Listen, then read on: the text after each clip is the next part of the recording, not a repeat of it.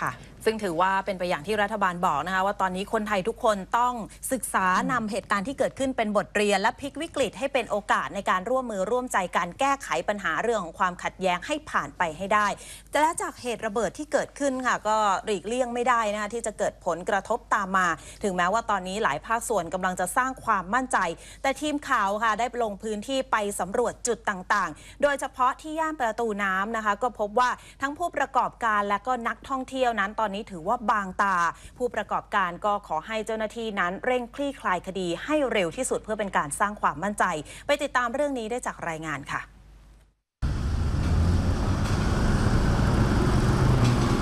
เหตุระเบิดที่เกิดขึ้นบริเวณแยกราชประสงค์ได้เริ่มส่งผลกระทบต่อผู้ประกอบการ และนักท่องเที่ยวทั้งชาวไทยและชาวต่างชาติ โดยเฉพาะในย่านประตูน้ำแหล่งช้อปปิ้งใจกลางกรุงเทพ ซึ่งตั้งอยู่ไม่ไกลจากจุดเกิดเหตุ บรรยากาศการค้าขายในย่านประตูน้ำไม่คึกคักเหมือนทุกวันที่ผ่านมา จากการสอบถามไปยังพ่อค้าแม่ค้า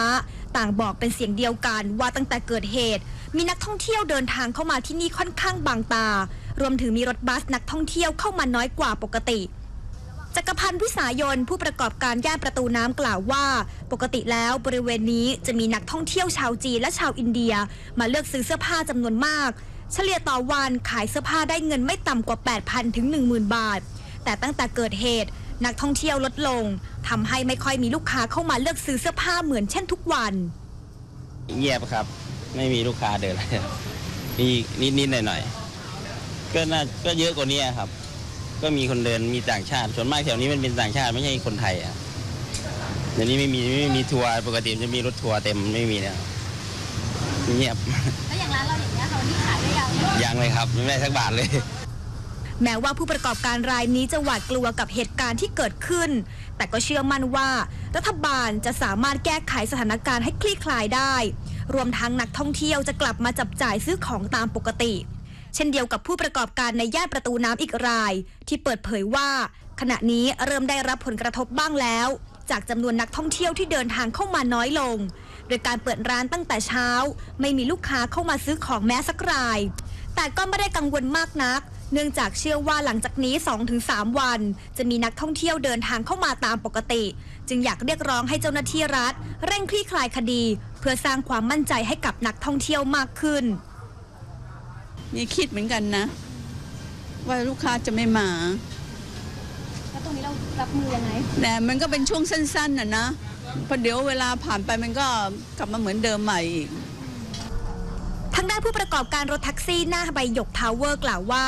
ตั้งแต่เมื่อคืนที่ผ่านมา มีนักท่องเที่ยวใช้บริการรถสาธารณะน้อยลงมาก อย่างบริเวณหน้าใบหยกทาวเวอร์ ปกติแล้วจะต้องมีผู้โดยสารต่อคิวเรียกใช้บริการจำนวนมาก ซึ่งจะมีรายได้จากการรับส่งนักท่องเที่ยวไม่ต่ำกว่าวันละ 1,000 บาท แต่มาวันนี้ไม่มีผู้โดยสารเลยทำให้ต้องจอดแช่รอผู้โดยสารนานนับชั่วโมง และก็ไม่รู้ว่าวันนี้ทั้งวัน จะมีผู้โดยสารมาใช้บริการหรือไม่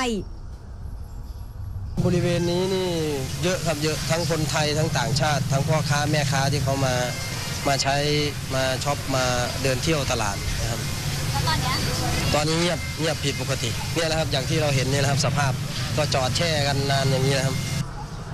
และนี่ก็เป็นเพียงผลกระทบส่วนหนึ่งที่เกิดขึ้นกับการท่องเที่ยว การค้าขายในย่านประตูน้ำซึ่งเป็นเพียงภาพเล็กที่เกิดขึ้นหลังเกิดเหตุระเบิด ส่วนภาพใหญ่ของการท่องเที่ยวในประเทศไทยจะเป็นอย่างไร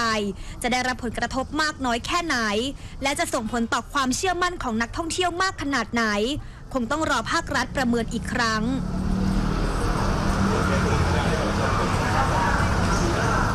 ทางด้านการเดินทางเข้าออกประเทศโดยเฉพาะทางอากาศนะคะกรมการบินพลเรือนก็สั่งปรับระดับการรักษาความปลอดภัยท่าอากาศยาน ให้อยู่ที่อยู่ในความรับผิดชอบจำนวน 28 แห่งเป็นระดับ 3 หรือว่าระดับสูงสุดค่ะ โดยนางปริชาติคชรัตอธิบดีกรมการบินพลเรือนนะคะ สั่งการให้มีการปรับระดับมาตรการรักษาความปลอดภัยท่าอากาศยานในสังกัดกรมการบินพลเรือน โดยกำชับให้เพิ่มความเข้มงวดของการรักษาความปลอดภัยทุกรูปแบบ โดยให้เจ้าหน้าที่ตรวจอาวุธ แล้วก็วัตถุอันตราย เพิ่มความเข้มงวด ในการตรวจกระเป๋าผู้โดยสารทุกใบ ทั้งจากเครื่องเอ็กซเรย์แล้วก็การตรวจค้นโดยตรงของเจ้าหน้าที่ นอกจากนี้ค่ะยังจัดเจ้าหน้าที่ตรวจตราบริเวณอาคารที่พักผู้โดยสาร และบริเวณท่าอากาศยานตลอด 24 ชั่วโมง จัดเจ้าหน้าที่เฝ้าระวังตรวจตราผ่านกล้องวงจรปิด ทั่วทั้งท่าอากาศยาน เพื่อดูความเคลื่อนไหวโดยรวมตลอดเวลา รวมทั้งประสานเจ้าหน้าที่ตำรวจทหารในพื้นที่ เพื่อคอยติดตามควบคุมสถานการณ์ความปลอดภัยอย่างใกล้ชิด รวมถึงขอความร่วมมือผู้โดยสารและประชาชน หากพบสิ่งผิดปกติต้องสงสัย หรือพบสัมภาระที่ไม่ทราบเจ้าของ ให้รีบแจ้งเจ้าหน้าที่โดยด่วนนะคะ เพื่อดำเนินการตรวจสอบต่อไปด้วยค่ะ